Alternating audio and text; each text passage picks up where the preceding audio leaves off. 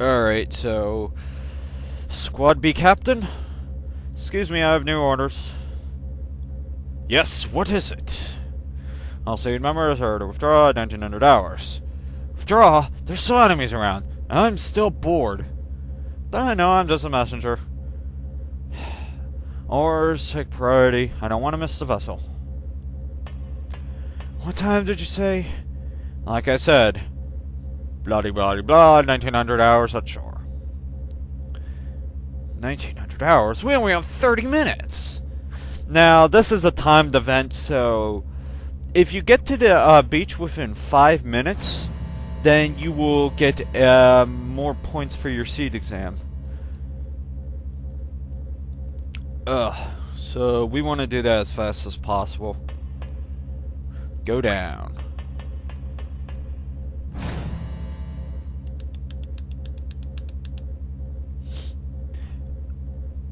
And it, trust me, it's really fucking annoying.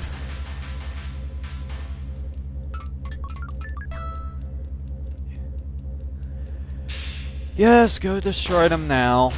Okay, this up-and-coming enemy is quite annoying. Well, when you're trying to get five minutes, this guy can accidentally, well, not accidentally, but he can spam some of his techniques that is really kind of over dramatic and shows too much frame rate. And I think they should not have done that for this enemy, especially when you're trying to get a perfect score. It's kind of bullshit.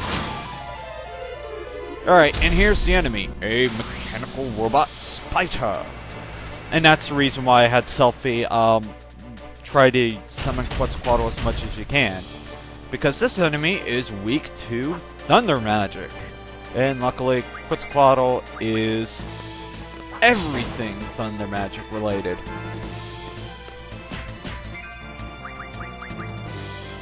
Okay, summon Quetzalcoatl. Okay, don't mind that. Arm Crush, really?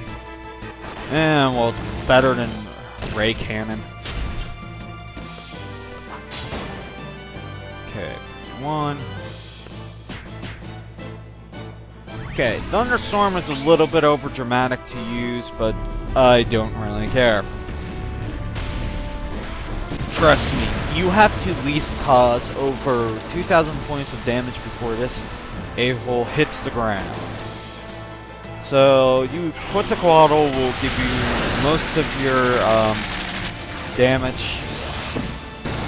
If this thing starts fucking, I'm gonna kneel and run. Yep. It's... Is it bucking? Yep, run! Thank God he didn't use Ray Cannon. Yeah, like I said, Ray Cannon is probably the most annoying technique that it has. And during this phase, no enemies will, there will be no random encounters, so you don't have to worry about that. The only enemy, well, you'll see in a second why it's annoying. The thing recovered, quickly. Now, this is the whole trial of this thing. You just gotta run from the bastard. And this is I think my third time doing this. Okay. This area.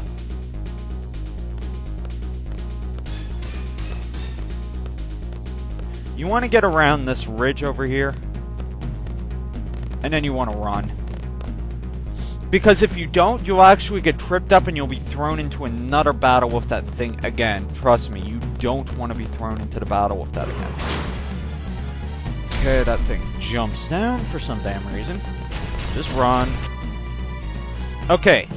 This bridge is usually a very hard point for people. What you do is you wait for it to jump. Hits the ground, run the opposite way. Wait for it to jump, hits the ground, and just run. That's the whole strategy with that part of the fight. Well, it's technically not a fight, it's a strategy to run from it. But once you do that, talk to this dog, you will lose points if you don't do that. Okay. We're gonna come up to an over-dramatic cutscene. Uh, crap. Run away. No, not sure if you're supposed to run away from that part of the cutscene, but, uh, who cares?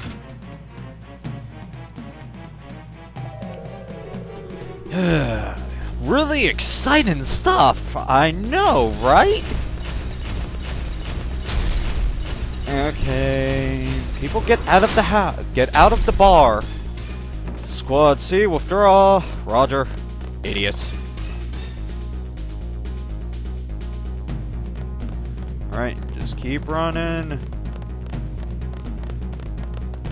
What the that noise? I don't know. Ignoring it. Okay, and I got to the beach within five minutes, so I'm gonna get 100 points on my SeeD exam. Sweet. And this is probably one of my more favorite cutscenes of the entire game. Damn it, Squall, you're supposed to recover. Ugh. I take martial arts for 11, but he should have ducked and ran and got on his feet instantly, but the idiot didn't do that. So it just makes it a little bit more dramatic, because he is running from death. Really? He's on your ass. And this is going through his mind. Shit, shit, shit. Jump! And machine gun Quistis. Awesome. Did he just glide through the water? I think he did. Whatever, who cares? And Quistis just demolished the crap out of that thing. Replace her, replace her whip with a machine gun. Jeez.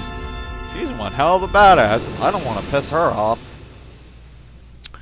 Whew. So anyways, that was the SeeD exam.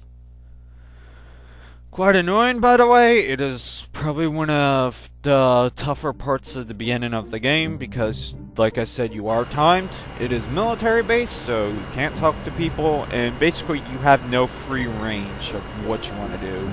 You just have to do what the orders are set by Seifer, and you should be fine.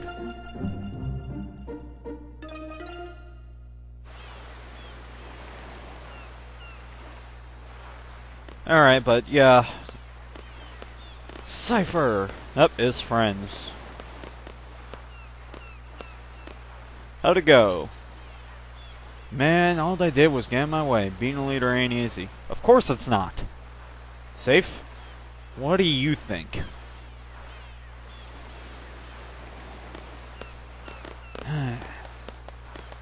Good job. Seifer, being a dick. See you later.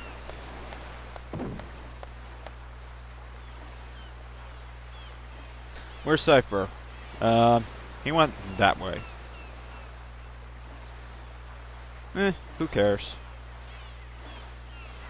Just be back by garden by sundown. You're free till then. Now we're free. Please don't freeze. I will kill you, computer.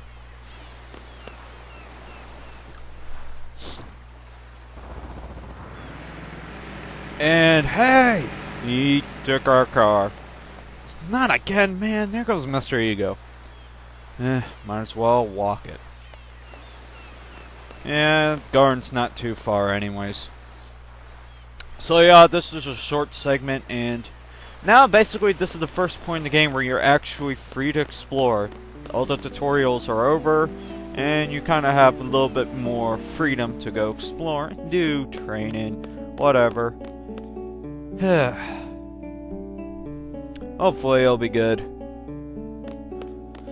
Now you can start raising your abilities for your GFs and stuff, but it's not necessary right now, but I will show off a place later on where you can do that, and please don't freeze.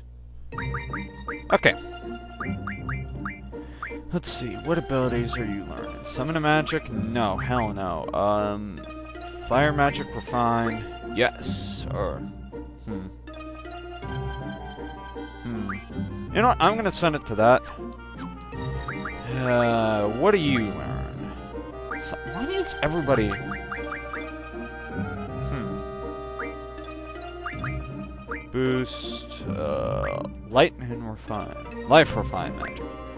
That's cool. What are you learning? Why is everybody learning summoning magic? Oh, screw that. Learn Ness. is a lot better. You. Card mod. Perfectly fine. And those are the abilities you basically want to learn. But since there's nothing else to do, I'm just going to go back to the garden. And you want to stay on this path if you want to avoid random encounters.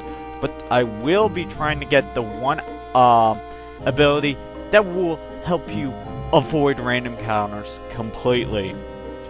And I won't get that uh, for a bit. Alright, so... Alright. Finally made it back. Seriously. Well, I guess we just wait for the rest of, for the test results. Till then, see ya, Squall. See ya. Yep. Now all you have to do for the test results is go to the second floor near the classroom and wait there and they'll do an announcement and tell us which people have graduated for the SeeD exam. Now, for what I did, all of the stuff that I did should give me a good base level SeeD exam, which is very good at this point. Ooh, tired. And that will really help us out. And there are other things in the future that will help us out, like, um, um, there is tests that you can take to raise your SeeD level, um, so you can get more money but that's not until much later on.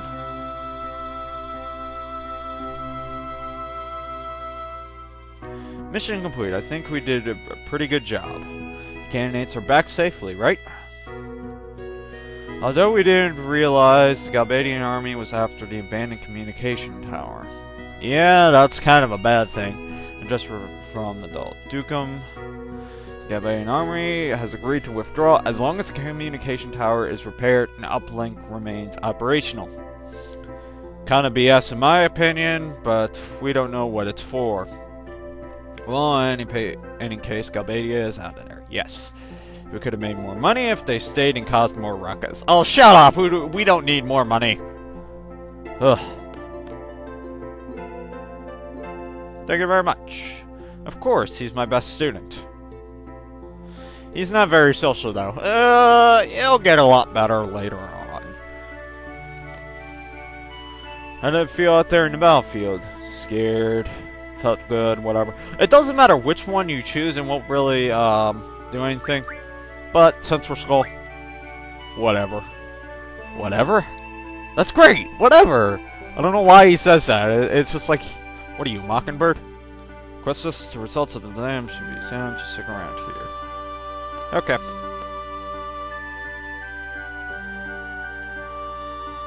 Let's see. And I think over here we're gonna go need to talk to... I think Seifer's here. He should be.